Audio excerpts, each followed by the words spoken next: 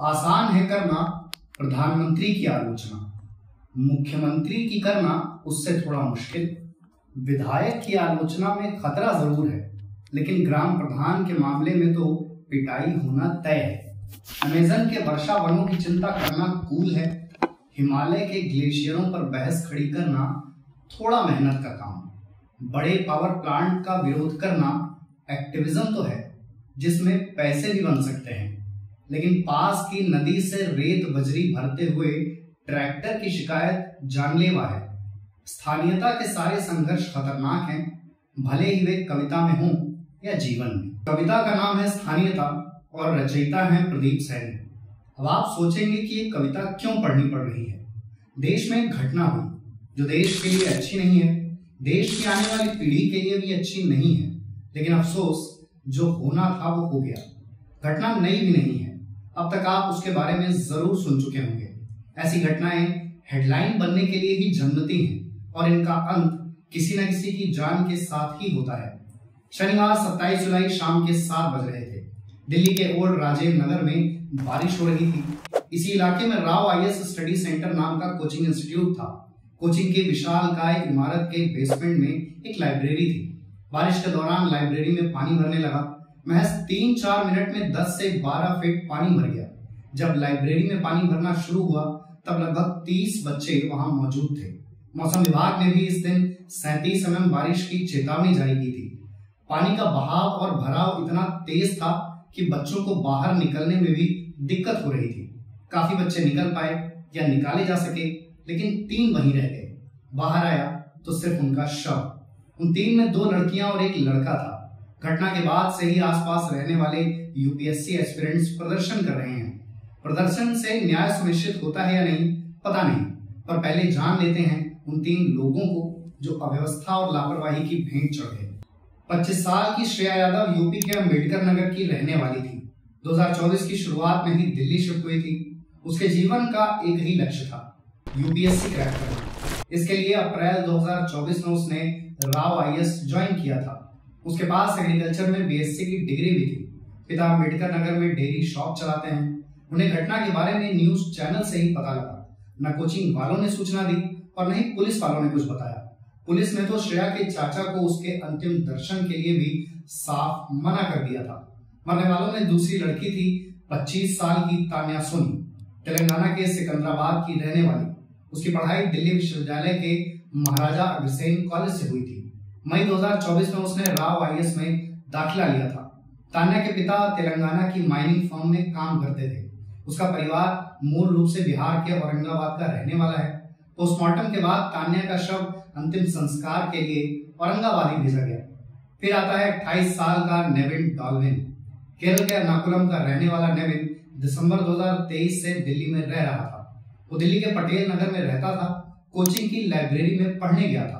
UPSC की तैयारी के साथ साथ वो जेएनयू से पीएचडी भी कर रहा था। हमारा देश नायक मोड में तब तक नहीं आता जब तक घटना बड़ी नहीं होती। क्या है कि 140 करोड़ की आबादी वाले देश में चंद लोग गुजर गए तो किसे ही हवा लगती है? इस केस में भी वही हुआ।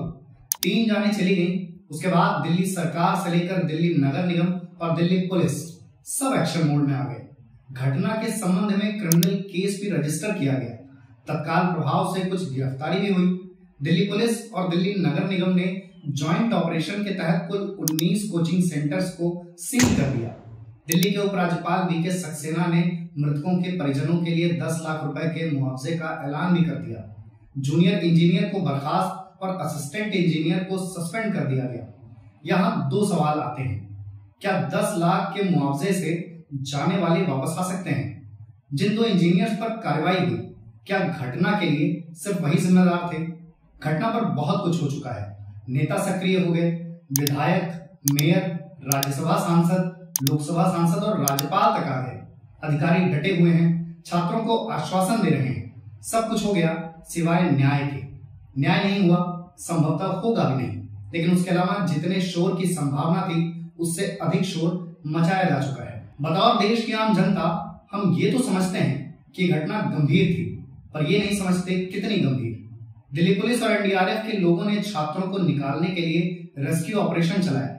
वो भी कई घंटों तक चला।